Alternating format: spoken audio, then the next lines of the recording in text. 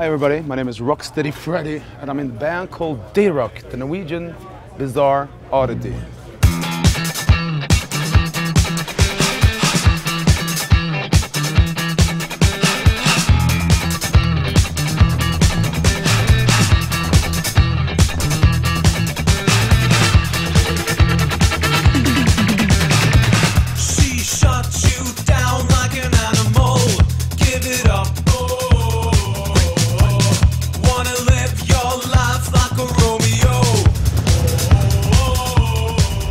Well, when Datarock started, we, we didn't really regard ourselves as, as musicians. We were, we were music fans and every song we wrote was a tribute to a specific artist and, and one of our main inspirations, Devo. Devo was the main inspiration for the band and they had already taken the, the yellow suit and we didn't know qu- quite know what to do and and then uh, first we had just white plain suits that was supposed to look like late 70s performance art kind of stuff, I don't know.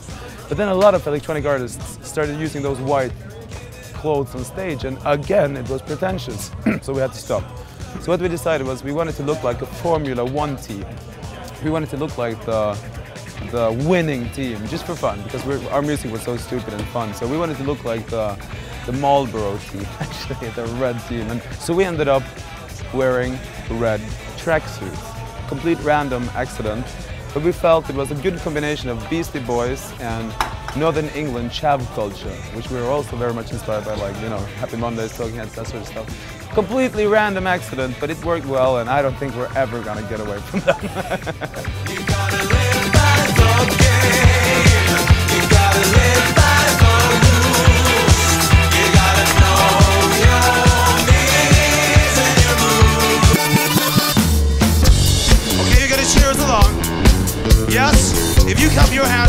so much better job. Now listen up carefully. Very serious stuff this. Where do you come from? Where are you going? What is your fear? What's your dream? We finished it yesterday, 7:45 p.m.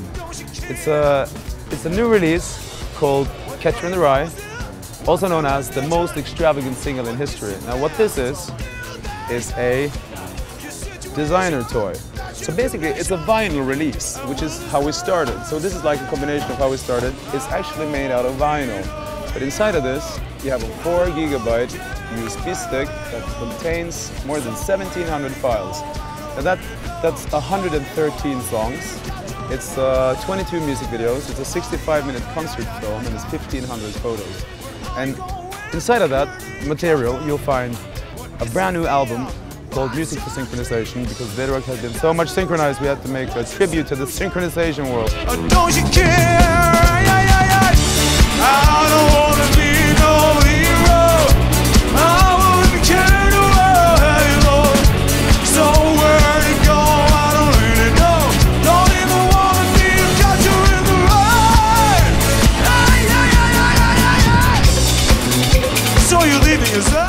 eh? is an instrumental instrumental album. That's a, then it's a brand new uh, compilation album of B-sides and rarities from our previous 12 inches, 10 inches, 7 inches.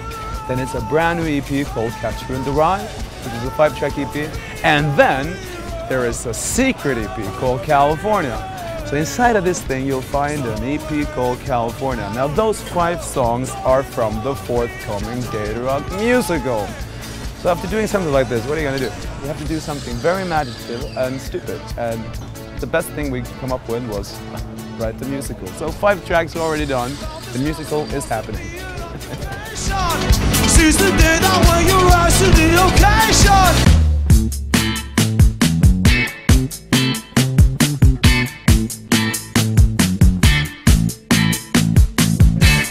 Rock's been around for a long time back home, so it's changed a lot over the over the not well not over the last couple of years, but since we started.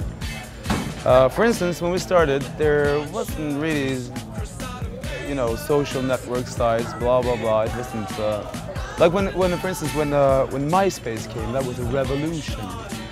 So uh, the way we started was a little you know bedroom studio project, releasing vinyls and now we're a a full band who's been touring in 33 countries, 800 shows, thanks to the internet.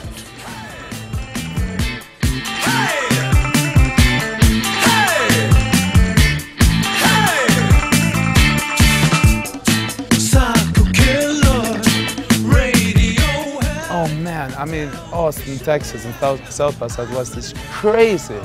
Like we, the first show we did uh, at South by this year, the band was playing after us was uh, a band from Australia, opposite side of the world.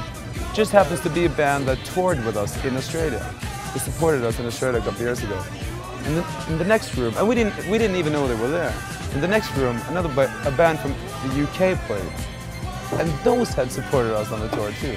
So it's like, okay, so you walk out of your hotel, down the street, out of the venue, whatever, and you meet you meet everybody you you really like from across the world. Everybody is there. It's, it's I don't know, it's insane. It- well, it's just a great place to uh, find um, new music, to uh, meet friends, get new friends, just have a great experience. Don't